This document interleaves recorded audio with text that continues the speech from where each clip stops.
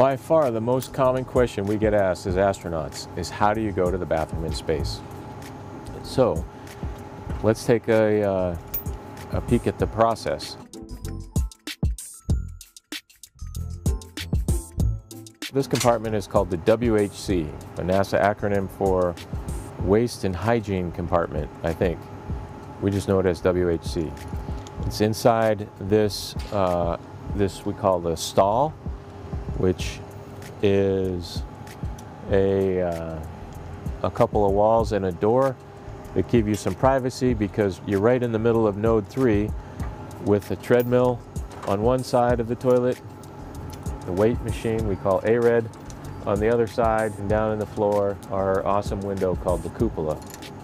And this is a high traffic area, people are coming and going, uh, so you need the privacy. First of all, the desire to go, the need to go to go is very similar as on Earth, where you just know you have to go. It doesn't feel any different because the fluid might be floating in your bladder or something. No, that's it. It's just the exact same uh, sensation, you know you got to go. Either one, number one or number two. So you've already you've decided that. You float into the WHC.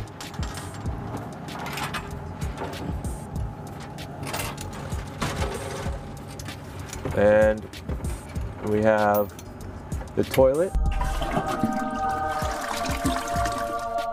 which consists of a seat and a metal bucket that we call a KTO which is a Russian acronym for something, container of something.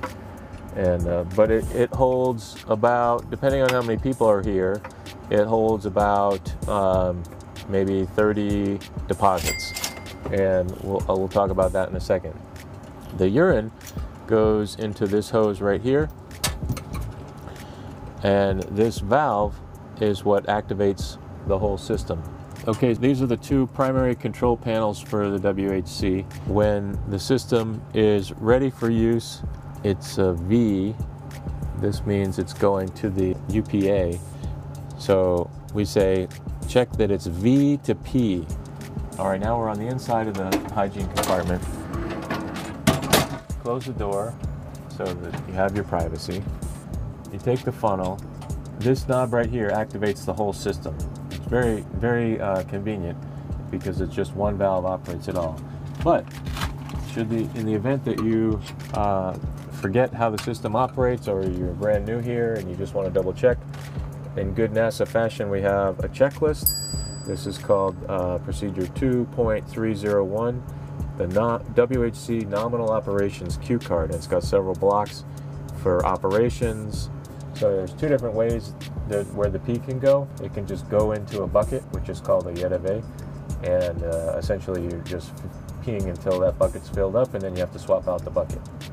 Or you can configure WHC to UPA and the urine processor assembly, and uh, and that way the urine is going right in, directly into the system, and that's where we normally keep it.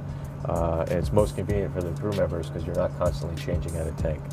So there's a couple blocks to tell you how to make those those changes, and uh, and some detailed steps if you need to know how exactly to do it. And in case things go wrong with the hardware, not yourself, there's a WHC malfunctions cue card, and we thought thought of all the different light combinations and the failure modes, and and uh, but the bottom line is if there's a red light, we talk to the ground, and together we we figure out the path forward. Okay, back to normal operations. Time to go.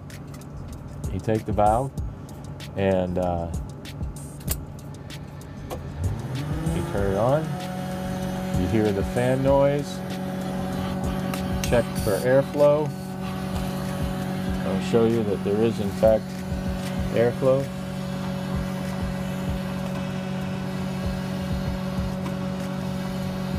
So a little bit of airflow and that helps everything flow in the right direction.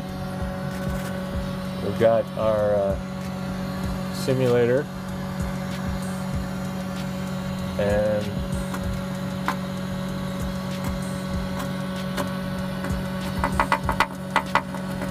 that's where your business goes.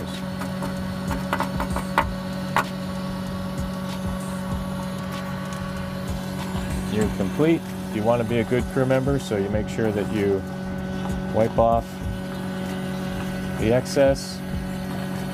Use a disinfectant wipe occasionally or often, and then you simply turn the valve off. But I want to show you number two as well, so I'll leave it running and we'll roll right into that. Okay, when it is time to go, you flip this lever here and that lifts up the lid. The seat here is about, oh, five or six inches in diameter and there's a, a plastic liner in there which where your deposit goes. What I have here is green beans and mushrooms and I do not like mushrooms so I don't mind contributing this piece of uh, food in the name of education.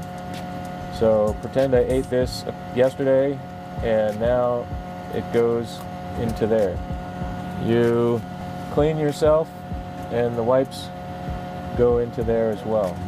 You take this red tab, you pull it off the rim and depends on how full the container is. This one's about halfway through. We do have a, a stick and you push it down in there with all its other friends and then it's time to put a new bag on. To put a new bag on, you separate, you pull that, it's like a hair scrunchie and get it all so it has max capacity there and ready to go. Close it up, close the lid. Now you've gone number one. Number two, you cleaned yourself up and uh, it's time to turn the system off. You just take this valve, rotate it to off, the fan spins down, the system checks itself, all the lights go out, and you're done. So congratulations, you've just used the WHC for the first time and you've uh, learned about the process. Hope it's educational, but I don't think it's going to lessen the amount of times I have to answer that question. Thanks for watching.